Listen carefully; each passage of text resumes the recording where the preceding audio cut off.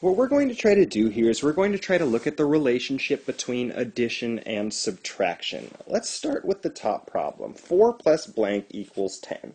If we start with 4 x's and we add some in, how many will it take to add until we get to 10? Well, we start with 4, 5, 6, 7, 8, 9, 10. I can see that I added 6 for a total of 10. So 4 plus 6 equals 10. Now, this is kind of interesting here. If we start with this whole group of 10, like we do in 10 minus 4, and we remove 4, which would be subtracting 4, how many are we left with? And the answer is the 6 that we just added in.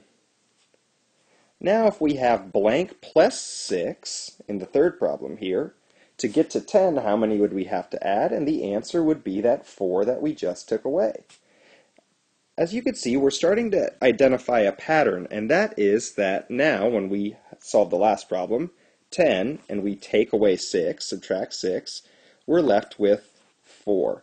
So what we can see is that addition and subtraction are actually the opposites. They're what we call inverse operations. So if we're to add and we want to do the complete opposite, all that we'd have to do is subtract the amount that we had added in.